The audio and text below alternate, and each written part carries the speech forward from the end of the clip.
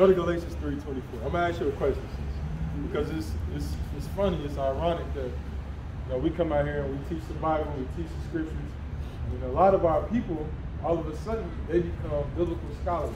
And I'm, I'm gonna ask you a question. I, I want you to answer the question based off of your ideology, based off of what you did, what you've been taught, right?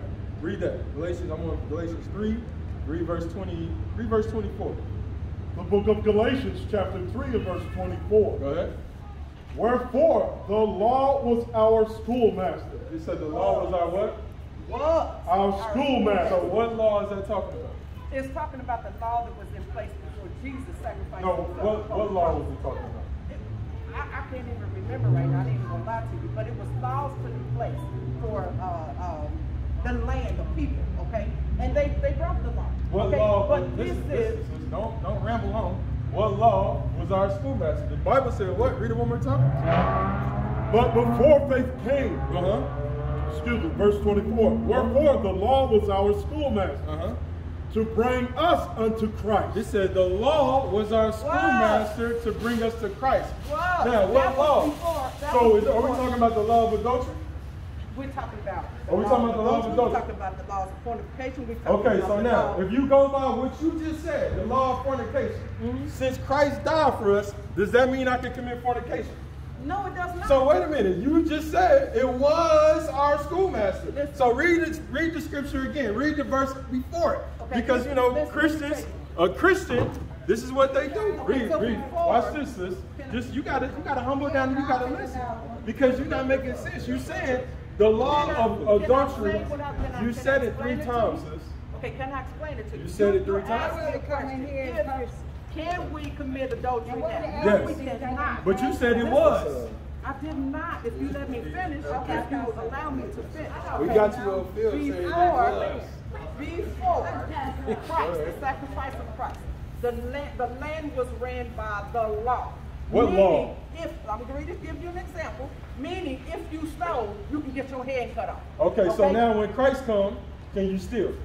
No, but at the same token, you cannot steal, but at the same token, he's more merciful. That's where the grace and the mercy comes in you're not making no sense at all. Read verse 23 again for the sister. We can 23. agree to Read. disagree. Verse 23. Go ahead. But before faith came, Before faith, before Christ came, read. we were kept under the law. We were kept under what law? We were kept under the law of sacrifice. And That's that's what not, no, you did not. Not the law, not the law of committing adultery, because that law is still in the place.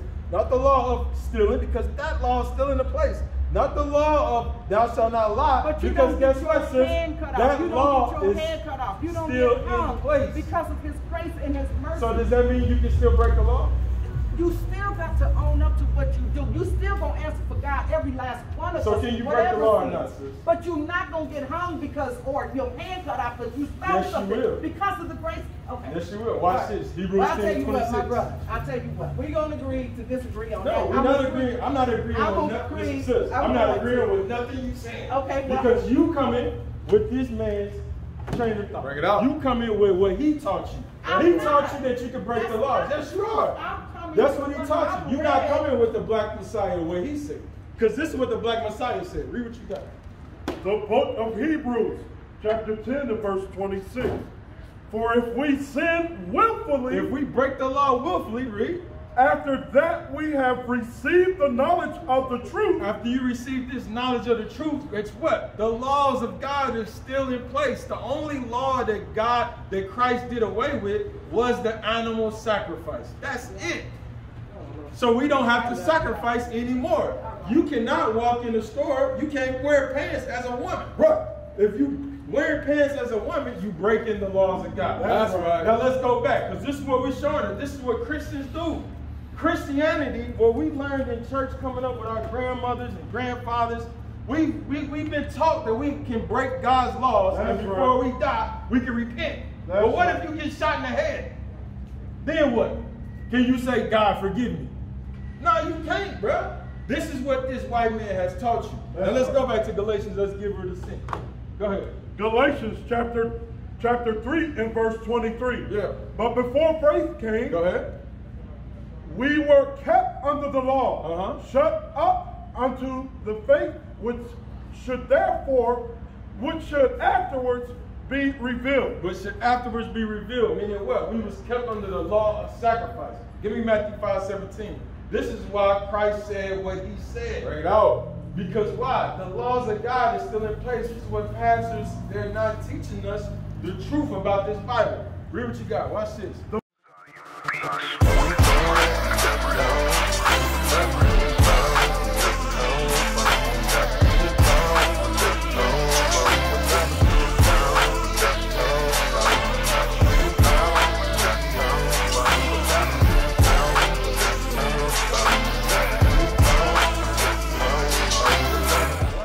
The book of Matthew, chapter 5 and verse 17. Come on. Think not that I am come to destroy the law. You see, uh, this is, what, what, what, what, uh, what's the color of those words? Red. Red. If it's written in red, who talking? Jesus talking. Who read, who talking, bro? Jesus. What did Christ say? Read it again. Think not that I am come to destroy the law. He Or- said, oh. don't think, don't even put this in your mind that I'm coming I didn't to destroy all my law. laws. You can't fulfill the You law. understand? So guess what? If you commit adultery, that's a law. Stealing, that's a law. Breaking the Sabbath, that's a law. He said, think not that I've come to destroy these laws. Watch this, read. or the prophet. Or nothing what the prophet said. All the prophets spoke about what? The, the restoring of the 12 tribes of Israel. That's right. Israel doing what? Breaking God's commandments and then going into captivity. This is what the prophets taught us. You understand? And he always sent the prophets to say, guess what? Israel, you blacks, Hispanics, and Native Americans, get your mind right. Or you're going to go into captivity. That's Christ right. didn't come to destroy none of that. Read, read it from the top. The book of Matthew, chapter 5 and verse 17. Go ahead. Think not that I am come to destroy the law or the prophet. Go ahead. I am not come to destroy, Uh-huh. but to fulfill. He said, I didn't come to destroy, but to fulfill.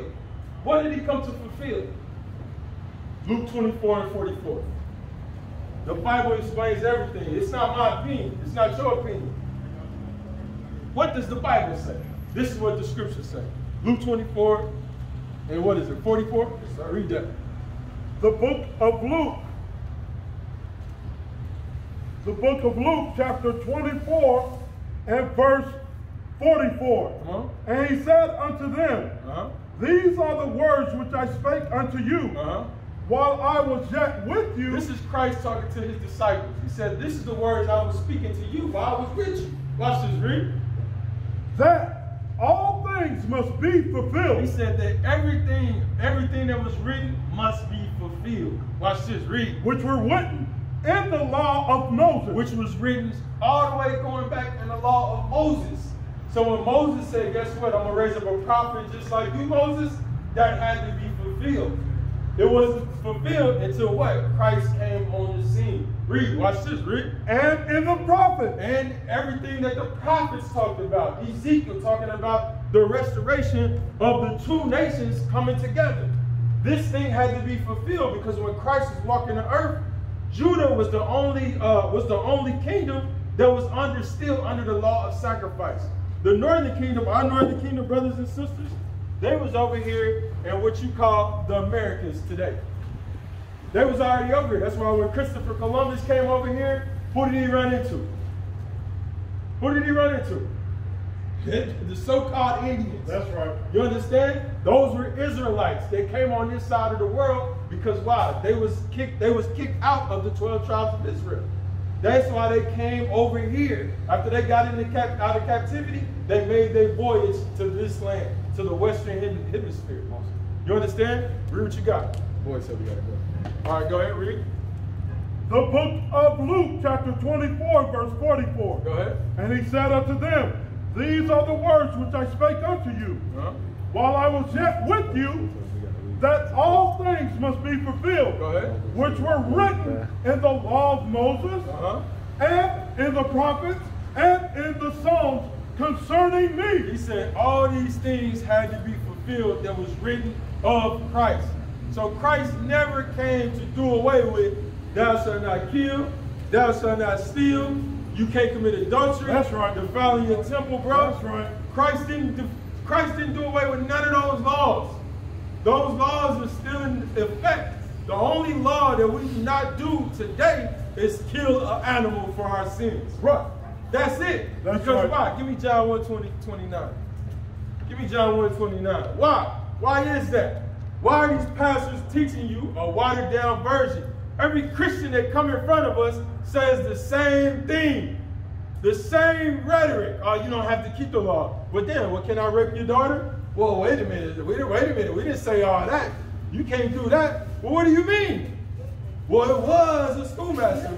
So does that mean that we can still break the Sabbath? Does that mean we can still run in the store and, and steal? No, it don't mean that. You blacks and Spanish, y'all make up the 12 tribes of Israel. That's right. And you better get your mind right. That's As right. you seeing, it's destruction coming to America. That's What? right. Famine coming to America. If you don't have your mind right, guess what? You're going to fall to these things. You're going to succumb to these things. That's Read right. what you got. That's right. John chapter 1 and verse 29.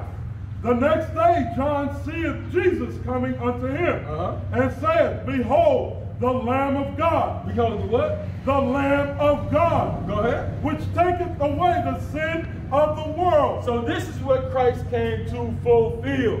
He was the Lamb of God which take away the sins of the world of the children of Israel. He's giving you blacks, Hispanics, and Native Americans an opportunity to get your minds right, to repent, to bethink yourself. We used to scream black power while heroin was pushed. But at the end of the day, nothing's in vain. IUIC has been given a vision. The tents of Judah has risen.